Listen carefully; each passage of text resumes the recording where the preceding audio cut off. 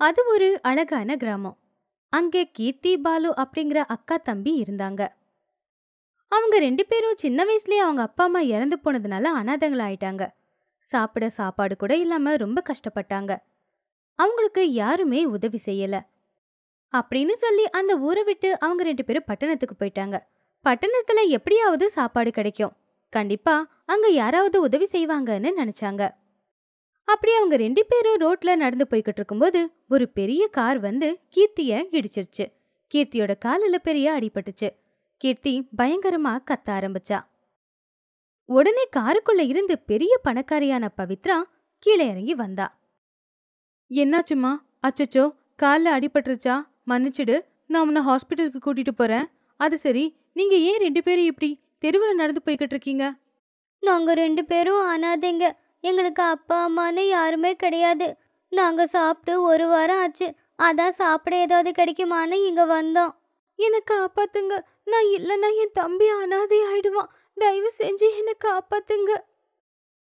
வாங்கம்மா ஹாஸ்பிட்டலுக்கு கூட்டிட்டு போறேன். அங்கிருந்து நேரா நம்ம வீட்டுக்கு போயிடலாம். அங்க உங்களுக்கு சாப்பாட்டுக்கு எந்த பிரச்சனையும் இருக்காது. அப்படின்னு பொய்யா நடிச்சு அவங்க மேல பாசம் காட்டுற மாதிரி கீர்த்திய ஹாஸ்பிட்டலுக்கு கூட்டிட்டு போனா. அங்க அவளுக்கு வைத்தியம் பார்த்தா. அதுக்கப்புறம் அந்த பசங்க ரெண்டு பேரையும் அவளுடைய வீட்டுக்கு கூட்டிட்டு வந்தா. கொஞ்ச நாளுக்கு அப்புறம் கீர்த்திக்கு எல்லாம் சரியாயிடுச்சு. இப்பதான் பவித்ரா அவளுடைய உண்மையான குணத்தை காட்டுனா. பொறுமையா அவங்க கிட்ட வீட்டு வேலை எல்லாத்தையும் வாங்க ஆரம்பிச்சா. உள்ள என்னடி பண்ணிக்கிட்டு இருக்க? எனக்கு ரொம்ப பசிக்குது. போய் டிஃபன் செஞ்சு எடுத்துட்டு வா. அதுக்கு கீர்த்தி சரி அப்படின்னு சொன்னா. அக்கா உனக்கு தான் காயம் ஆறிடுச்சுல நம்ம எங்கேயாச்சும் போயிடலாக்கா இல்லைன்னா இவங்க உன்னை ரொம்ப கொடுமைப்படுத்துவாங்க. நமக்குன்னு யாருமே இல்லடா. எங்கன்னு பொறுது எங்க போய் எப்படி வாழ்றது? நீ சொல்றது சரிதான்க்கா. ஆனா எல்லா வேலையும் உன்கிட்ட தானே வாங்குறாங்க. உனக்கு இதை நினைச்சா கஷ்டமாவே இல்லையா? நம்ம வெளியே எங்கேயாச்சும் போய் ஏதாவது வேலை பார்த்து சம்பாதிச்சுக்கலாம் வாக்கா. வெளியே போய் இந்த வேலை செய்யறதுக்கு பதிலா இங்கேயே இந்த வேலை செஞ்சா வயிறு நிறைய சாப்பாடு கொடுப்பாங்க. நீ இனிமே இத பத்தி எதுவும் பேசாத. அப்படின்னு சொல்லும்போது பவித்ரா அங்க வந்தா. எவ்வளோ நேரம்டி? டிஃபன் எடுத்துட்டு வான்னு சொல்லி எவ்வளோ நேரம் ஆச்சு? சீக்கிரமா போய் டிஃபன் செஞ்சு எடுத்துட்டு வா. இதோ எடுத்துட்டு வரேம்மா. அப்படின்னு சொல்லி கீர்த்தி வேக வேகமா போய் அவளுக்கு டிஃபன் எடுத்துட்டு வந்து கொடுத்தா. பவித்ரா ரொம்ப பெரிய கஞ்ச பிஸ்னாரி அதனால வீட்டு வேலையாட்கள் எல்லாரையும் நிப்பாட்டிட்டா. பசங்க கிட்டேயே பாத்திரம் துளக்க வைக்கிறது துணி துவைக்க வைக்கிறது அப்படின்னு வீட்டு வேலை எல்லாத்தையும் வாங்கிக்கிட்டு இருந்தா.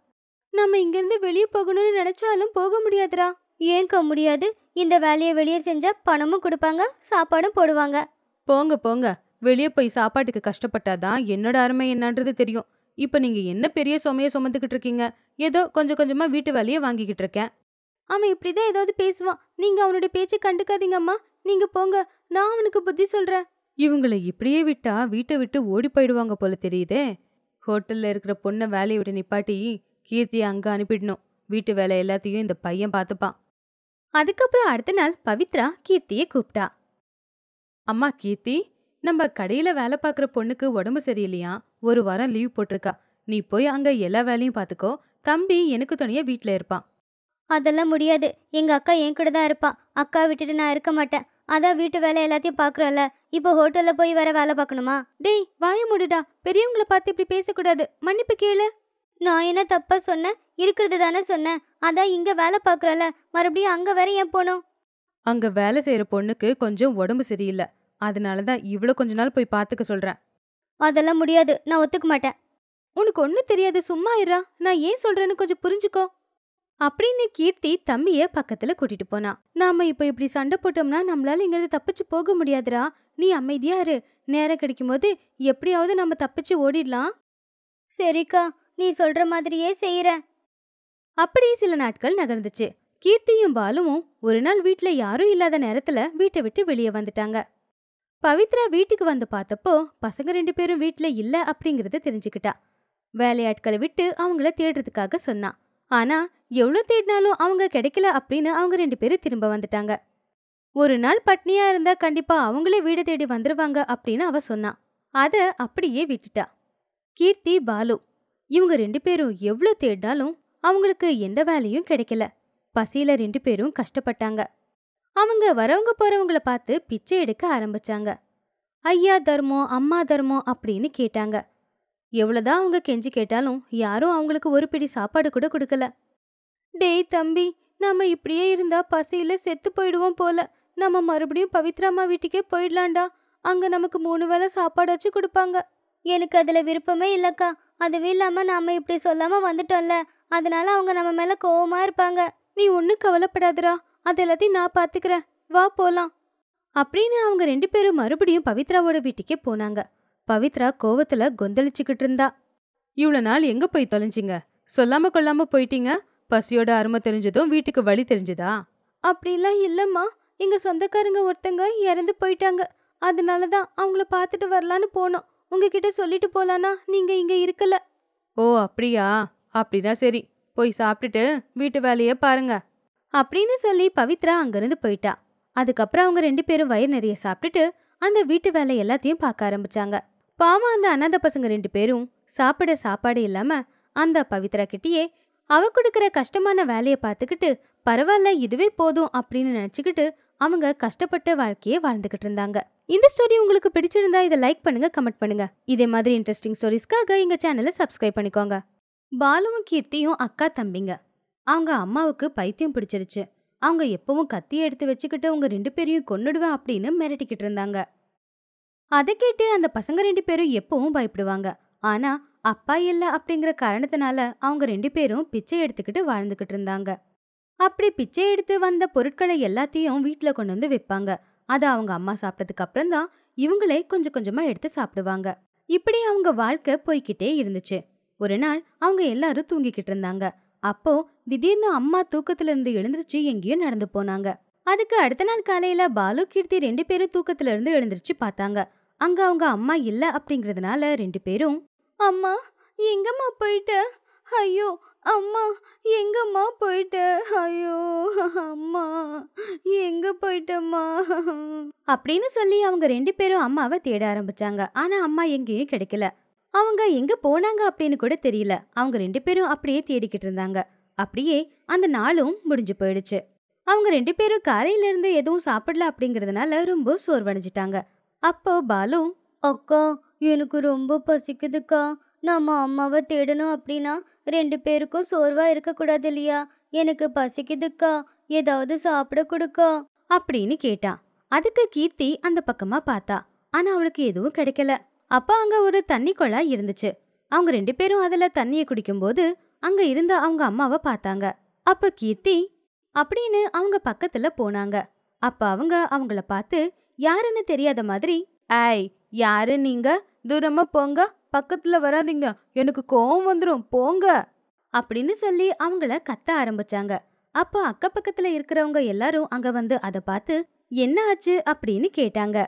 அப்போ கீர்த்தி அழுதுகிட்டே ஐயோ இவங்க எங்க அம்மா தான். பேரு சாரதா. அவங்களுக்கு கொஞ்சம் மனநிலை சரியில்லை. நாங்க எப்படியாவது அவங்கள வீட்டுக்கு கூட்டிட்டு போயிடுறோம். தயவு செஞ்சு யாராவது எங்களுக்கு உதவி செய்யுங்க ஐயா. அப்படின்னு சொன்னாங்க. அதை கேட்டதும் அவங்க சரி அப்படின்னு சொல்லி அவங்கள கட்டாயப்படுத்தி வீட்டுக்கு கூட்டிட்டு போனாங்க. அப்ப அவங்க ஐய் இது என் வீடு இல்லை. மரியாதையா என்னை விட்டுடுங்க. இல்ல கொன்னுடுவேன். அப்படின்னு சத்தம் போட்டு கத்துனாங்க. அப்போ அங்க இருந்தவங்க எல்லாரும் சேர்ந்து அவங்கள ஒரு கட்டில்ல கட்டி போட்டு வச்சுட்டாங்க. அப்போ கீர்த்தி அம்மா நீ ஏம்மா இப்படியெல்லாம் பண்ற? நீ எப்ப சாப்பிட்டியோ என்னமோ. இருமா நான் சமைச்சு எடுத்துட்டு வரேன். அப்படின்னு சொல்லி அவ சமையல் செஞ்சா. அதுக்கப்புறம் அதை கொஞ்சம் பாலுவுக்கும் கொடுத்தா. பாலு சாப்பிட்டுக்கிட்டு இருக்கும்போது அவ சாப்பாடு எடுத்துட்டு வந்து அவங்க அம்மாவுக்கு ஊட்டி விட்டா. அப்போ அம்மா எனக்கு வேண்டாம். சாப்பாடு வேண்டாம். மரியாதையை என் கட்டை அவுத்து விடு. நான் போகணும். நான் போகணும். அப்படின்னு ரொம்ப சத்தமா கத்த ஆரம்பிச்சாங்க. அப்போ கீர்த்திக்கு என்ன பண்றது அப்படின்னு சுத்தமா புரியவே இல்ல. சாப்பாடு சாப்பிட்டு அனுப்பி விடுறேன் அப்படின்னு சொன்னான். அதுக்கு அவங்களும் சரின்னு சொன்னாங்க. கீர்த்தி அவங்களுக்கு சாப்பாடு ஊட்டுனா. அதுக்கப்புறம் அம்மா என்ன அனுப்புறேன்னு சொன்னல அனுப்பு அனுப்பு அப்படின்னு சொல்லி சத்தம் போட்டாங்க. கொஞ்ச நேரத்துல பாலு சாப்பிட்டுட்டு படுக்கையில போய் படுத்து தூங்க ஆரம்பிச்சான். அதுக்கப்புறம் கீர்த்தியும் அங்கேயே படுத்து தூங்குனான். அப்படி அந்த நாள் முடிஞ்சு போச்சு. அதுக்கு அடுத்த நாள் காலையில அவங்க மறுபடியும் கட்ட அவுத்துக்கிட்டு அங்கிருந்து வெளியே ஓடினாங்க. அப்ப பசங்க ரெண்டு பேரும் எழுந்திருச்சு அவங்கள இறுக்கமா பிடிச்சாங்க. ஆனா அவங்க அந்த பசங்க கிட்ட இருந்து தப்பிச்சுக்கிட்டு மறுபடியும் ஓட ஆரம்பிச்சாங்க. அதை பார்த்து அந்த பசங்க ரெண்டு பேரும் புடிங்க புடிங்க அப்படின்னு சத்தம் போட ஆரம்பிச்சாங்க. அதை பார்த்து ரெண்டு பேர் அவங்கள தடுத்தாங்க. ஆனா அவங்க அவங்க கிட்ட இருந்து கூட தப்பிச்சுக்கிட்டு வேகமா போய் கீர்த்தியோட கையை பிடிச்சி இழுத்துக்கிட்டு போனாங்க. வா நான் உன்னை கொன்னுடுறேன் அப்படின்னு அங்க இருக்கிற ஆத்து பக்கத்துல கூட்டிட்டு போனாங்க. அதை எல்லாரும் பார்த்தாங்க. அத பார்த்து அவங்க பக்கத்துல வரும்போது அவங்க என் பக்கத்துல யாராவது வந்தா இந்த பொண்ணை நான் இங்கிருந்து தள்ளி விட்டுருவேன் பாத்துக்கோங்க அப்படின்னு சொன்னான் அதை கேட்டு அவங்க யாருமே பக்கத்துல போகவே இல்ல. அதுக்குள்ள பின்னாடி இருந்து ஒரு ஆள் வந்து அவளை பிடிச்சிட்டான். அப்ப அம்மா பயந்து போய் கீர்த்திய தண்ணியில தள்ளி விட்டுட்டாங்க. அதுக்கப்புறம் ரெண்டு பேர் அவங்கள பிடிச்சி கீழே இறக்குனாங்க. அப்போ அங்கிருந்த ஒரு ஆளு ஆத்துல குதிச்சு கீர்த்திய காப்பாத்தி மேல கூட்டிட்டு வந்தாரு. அப்போ பாலு அக்கா அக்கா. அப்படின்னு அவன் அழுதான் கொஞ்ச நேரத்துக்கு அப்புறம் கீர்த்தி எழுந்திருச்சா. அப்போ பக்கத்துல இருந்த ஆட்கள் அவகிட்ட இங்கே பாருங்க பசங்களா உங்கள் அம்மா இங்கே இருக்கிறது அவ்வளோ நல்லதில்ல உங்கள் அம்மாவை பைத்தியக்கார ஹாஸ்பிட்டலுக்கு அனுப்பிடுங்க. இல்லைன்னா உங்களுக்கு தினமும் நரக வேதனை தான். ஒருவேளை உங்கள் அம்மா மட்டும் இங்கேயே இருந்தா அவள் என்னைக்காவது ஒரு நாள் உங்கள் ரெண்டு பேரையும் கொன்னுடுவா. அப்படி இல்லைன்னா ஏதாவது பஸ்ஸுலேயோ இல்லை லாரிலேயோ அடிபட்டு அவளே செத்து போயிடுவா. என் பேச்சை கேளுங்க ஹாஸ்பிட்டலுக்கு அனுப்பிடுங்க.